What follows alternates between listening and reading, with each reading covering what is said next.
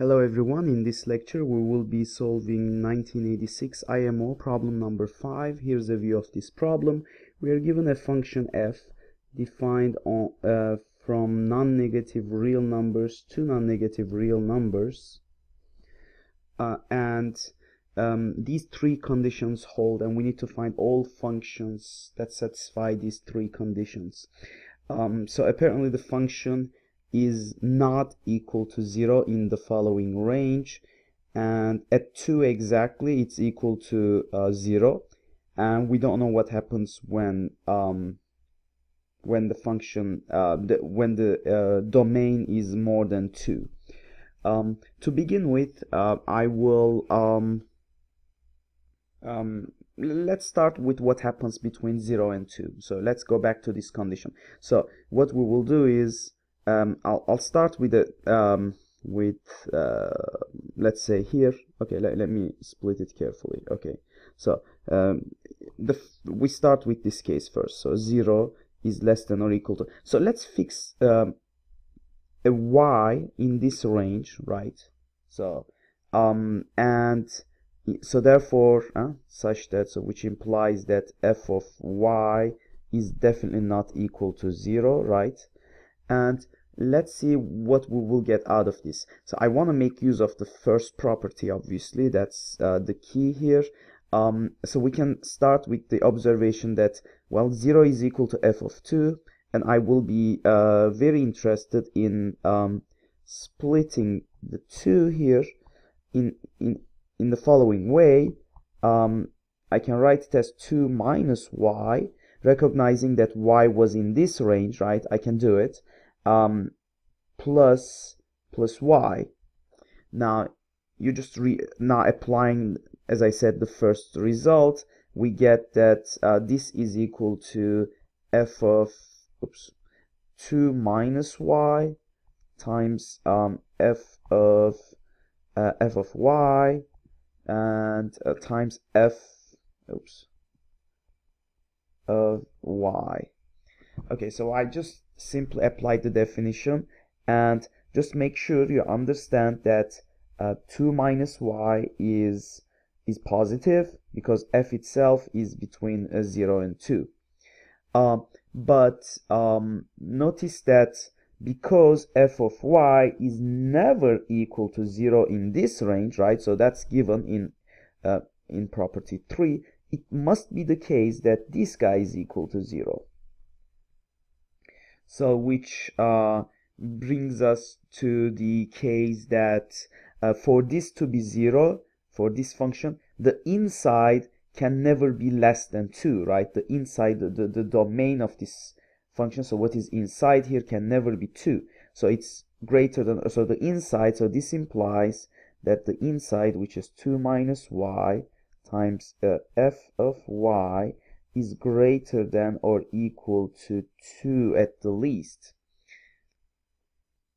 Now on the other hand, notice that if I plug in, so going back to the first condition, in I, if I plug in x equals 2 over f of y, um, I, I, get a very interesting result. So look look this out. So it, it, it plays out greatly. So we get f of x plus y which is by definition equal to f of x times f of y times f of y but now we decided to replace x with 2 over f of y so we have f of 2 over f of y times f of y times f of y which is simply equal to f of 2 times f of y but wait f of 2 is simply equal to 0 from the second condition so this whole thing, so this guy is 0. So this whole thing is equal to 0. Uh, f of x plus y will only be 0 if the inside of it, the domain inside, x plus y itself is um, is not less than 2, right? Because under the third property, if it's less than 2, that can never be equal to 0, right? So therefore, so following from this second column here, it implies that x plus y is greater than or equal to 2. and moving things around, further this would imply that x is greater than or equal to 2 minus y. That's exactly the result that I wanted because notice how we started with x, right? So I can replace x with 2 over f of y here. So that would imply that 2 over f of y is greater than or equal to 2 minus y. And after moving things around, yeah, with the cross product, we get that f of y times uh, 2 minus y is uh, less than or equal to 2. Now compare this with our earlier result, huh, which is which is look at this result here and compare it with this one. Now these two inequalities will only hold simultaneously if um, there's an equality, right? So therefore, oops. So therefore, this implies, oops, uh, it's like this. So sorry for the okay.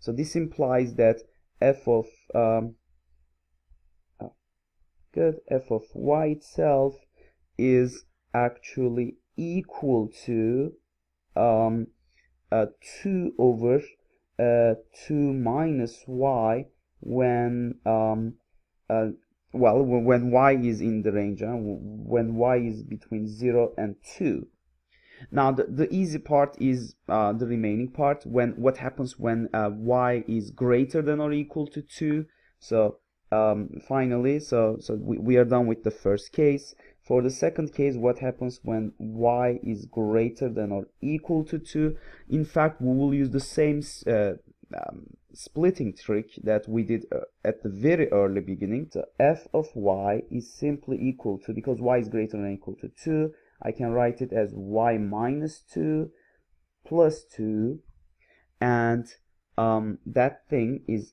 equal to um, applying the definition obviously f of uh, y minus 2 times f of 2 times f of 2 again but f of 2 is 0 so that whole thing will become 0 and and we are done. So therefore to conclude we can say that um, f of y is simply equal to 0 when um, when y is greater than or equal to 2 and and those two relations um, uh, expressions will will completely define f of y on the given range uh, on the given domain uh, so that and that completely define our uh, function f and and we are done